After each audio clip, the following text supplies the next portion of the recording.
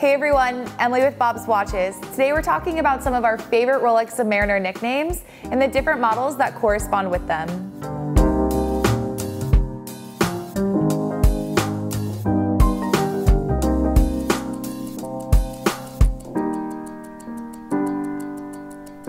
Also, if you haven't done so already, don't forget to subscribe to our YouTube channel so you can stay up to date on all of our latest video content.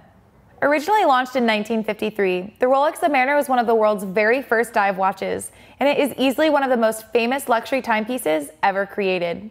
Due to its high notoriety, the Submariner is a favorite among many collectors, and it has picked up a number of different nicknames over the years. The James Bond moniker is one of the oldest Submariner nicknames, dating all the way back to the 1960s, when a Rolex Submariner first appeared on the wrist of Sean Connery during the original 007 films. Technically speaking, the James Bond nickname only refers to the reference 6538, which was produced during the 1950s and is characterized by its oversized winding crown and lack of crown guards. Although the James Bond name frequently gets used for other vintage Submariner watches, it was a reference 6538 that was the specific model worn by Connery during the early James Bond films. Another incredibly popular Submariner nickname is the Kermit, which refers to the reference 16610 LV that was released in 2003 to celebrate the collection's 50th anniversary. Characterized by its black maxi dial and green aluminum bezel, the Kermit holds the distinction of being the first Submariner to feature the color green, and its nickname comes from the famous green colored Muppet Frog character. You will frequently hear the nicknames Red Line or Red Sub, and these refer to vintage reference 1680 watches that have their Submariner names printed in red letters. Rolex stopped using red text on the Submariner part of the way through the reference 1680s production run, and to this day, the red sub remains the last time that the color appeared on a watch from the Submariner collection.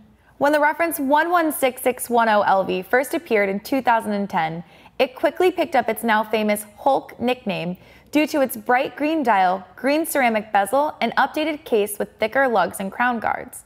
Just like the famous Marvel superhero, the Hulk Submariner is a bigger, bolder, and all green version of its traditional counterpart. And since getting discontinued in 2020, it has quickly become one of the most collectible modern Submariner watches. Similar to the Hulk, the Smurf Submariner is based on Rolex's super case design, but features a bright blue dial and bezel paired with a solid 18 karat white gold case and bracelet. The Smurf nickname comes from the watch's blue and white color profile, which bears a slight resemblance to the children's cartoon characters by the same name. While names like Hulk, Smurf, and Kermit all pertain to just one specific reference, the bluesy nickname can refer to any two-tone Submariner watch fitted with a blue dial and bezel. Curiously, the solid gold Submariner watches with blue dials and bezels are just as blue as their two-tone counterparts, yet it is the steel and gold models that go by the bluesy nickname. Unlike the standard production models, Milsubs feature sword-shaped hands, fully demarcated bezel inserts, cases with welded bars between the lugs, and dials with circled T insignias on them to denote the use of tritium.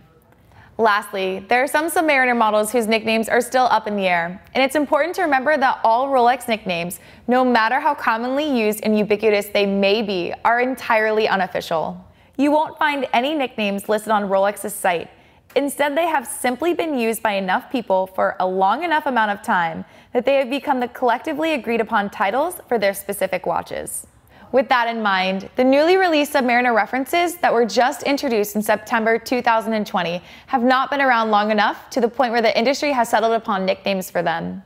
For example, the reference 126610 LV, with its black dial and green ceramic bezel, is sometimes called the Cermit due to more or less being the ceramic bezel version of the Kermit.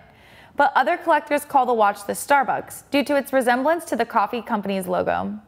Similarly, the new 41mm white gold Submariner, with its black dial and blue bezel, has received a number of different nicknames, including Cookie Monster, BMW, Sega, and Sonic the Hedgehog, just to name a few.